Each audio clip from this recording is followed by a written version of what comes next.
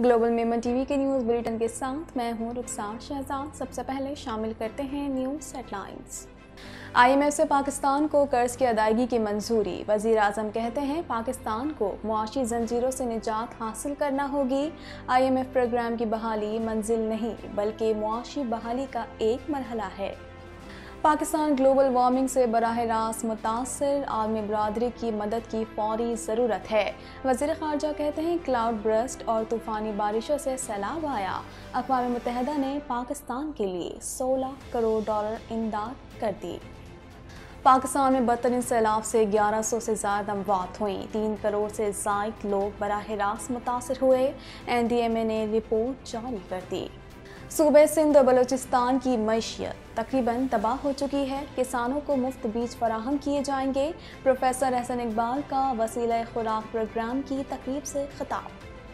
PTI वालों को रियासत की कोई परवाह नहीं। मिफ्ता इस्माइल का ऑडियो लीक पर रद्दमल वज़ीर ख़जाना कहते हैं, अगर मुल्क को नुकसान पहुंचाना सियासत है तो ऐसी सियासत छोड़ देनी चाहिए। सैलाब मुतासरीन की इमदाद के लिए शहर कायद के मुख्तलिफ़ मकाम पर इमदादी कैंप कायम। शहरी मुतासरीन सैलाब के लिए इमदादी सामान मुख्तलिफ़ कैंपों में जमा कराने लगे। हेडलाइंस आपने जानी और अब खबरें तफसील के साथ। पाकिस्तान भर में नुमाइंदगान का वसी नेटवर्क। हर खबर जानने के लिए देखते रहिए टी एन एन टीवी पौने दो करोड़ की आबादी पर मुश्तमिल कराची मेट्रोपॉलिटन सिटी में सेहत के हवाले से अस्पताल तो बहुत, लेकिन फिजियोथेरेपी सेंटर नायाब हैं। अल्हम्दुलिल्लाह, हमने इस कमी को पूरा करते हुए गुलस्तान जौहर में सुबेदास फिजियोथेरेपी सेंटर का आगाज़ कर दिया है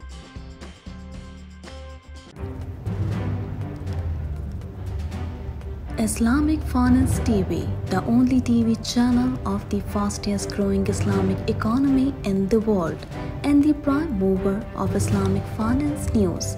Follow us on our social media handles and watch our reports and educational program at www.islamicfinancetv.com. For advertisement, please contact us at islamicfinancetv at gmail.com.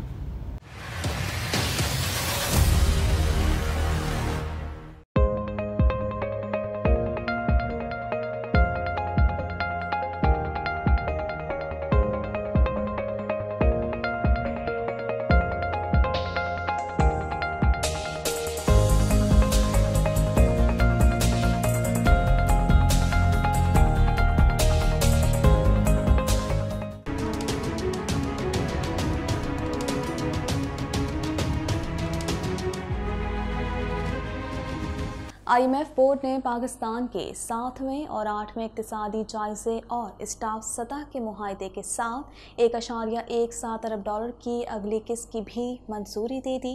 मजीद जानते हैं इस रिपोर्ट में। आलमी मालियाती इदारे बोर्ड ने पाकिस्तान के सातवें और आठवें इकतदी जायजे और स्टाफ सतह के माहे के साथ एक अशारिया एक सात अरब डॉलर की अगली किस्त की भी मंजूरी दे दी है। विफाकी वज़ीर खजाना ने समाजी रवाबित की वेबसाइट ट्विटर पर आई एम एफ़ की जानब ऐसी दी जाने वाली मंजूरी ऐसी मुतालिक कहा की आई एम एफ़ बोर्ड ने हमारे ई एफ़ एफ़ प्रोग्राम की तजदीद की मंजूरी दे दी। उन्होंने मजीद बताया कि पाकिस्तान को एक अशारिया एक सात अरब डॉलर की सातवीं और आठवीं किस्त मिलेगी। मिफ्ता इसमाइल ने वज़ीर आज़म का शुक्रिया अदा करते हुए कहा कि शहबाज शरीफ ने पाकिस्तान को डिफ़ॉल्ट होने से बचाने के लिए सख्त फैसले किए। ख्याल रहे कि पाकिस्तान ने आई एम एफ़ को प्रोग्राम की मुद्दत में एक साल के इजाफे और कर्ज की रकम में एक अरब डॉलर इजाफे की दरख्वास्त दे रखी थी।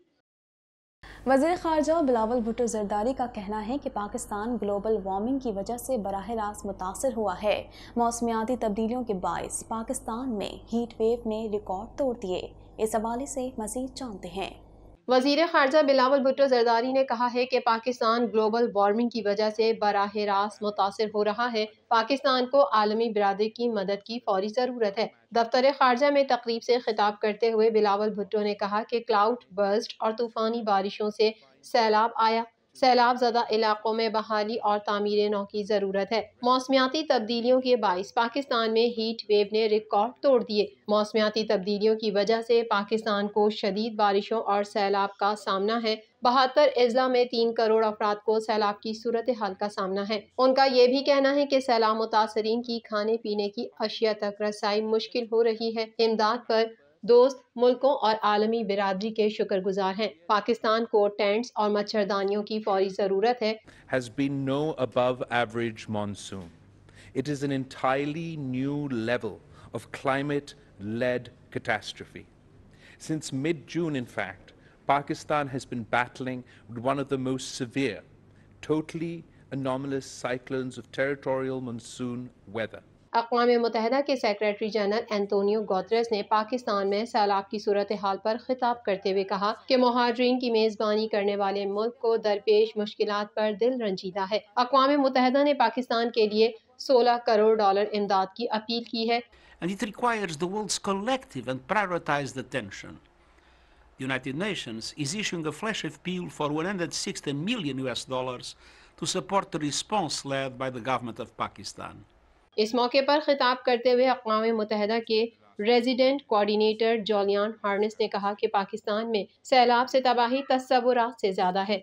आलमी बरदरी मौसमियाती तब्दीली से मुतासर पाकिस्तान के लिए इजहार यकजहती करे।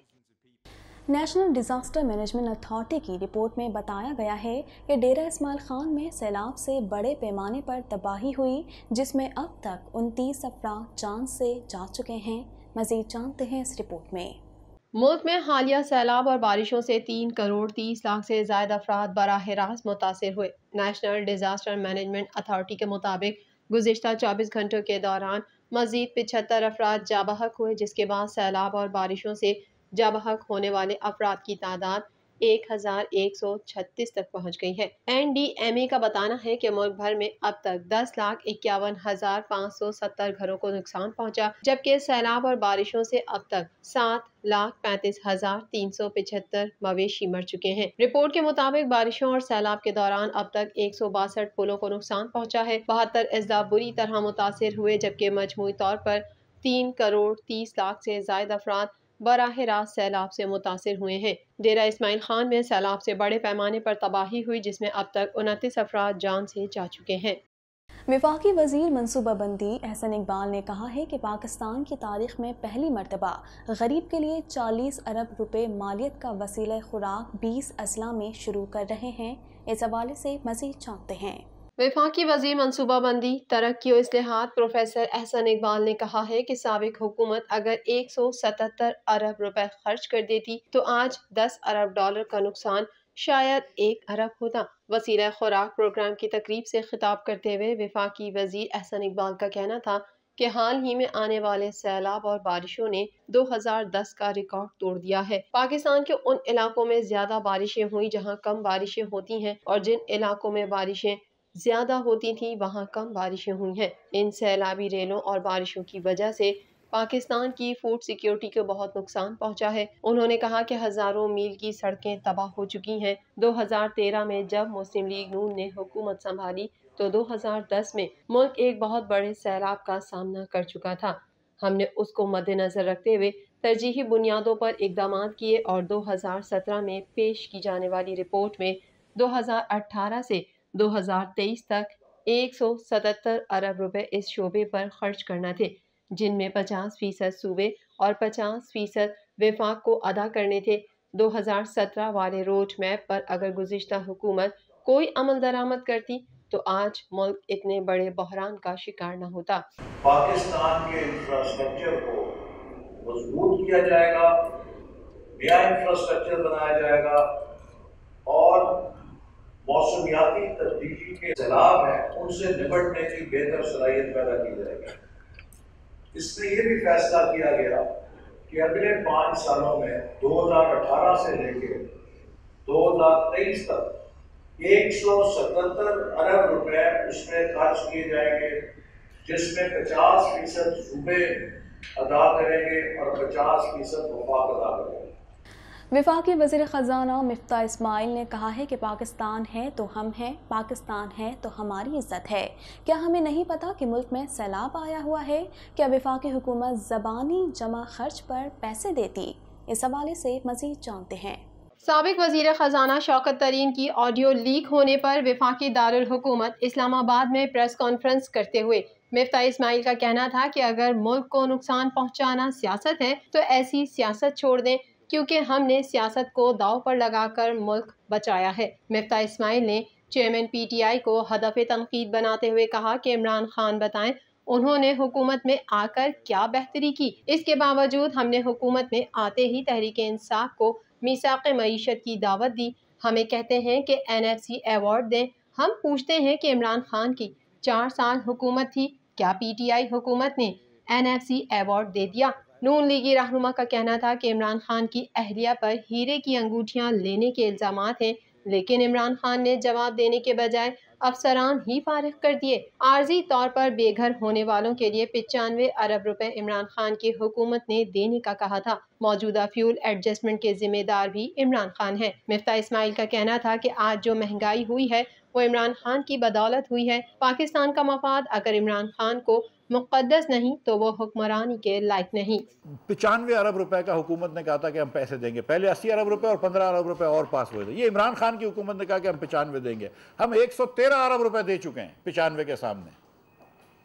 आज मैंने पूछा कि कितना परसेंट होता अगर तुम लोगों के पास ये तुम उसमें होते एन एफ़ सी अवार्ड में होते तो बोलते दो फ़ीसद से हमारा बढ़ जाता। पंद्रह से सत्रह पे चले जाते हम।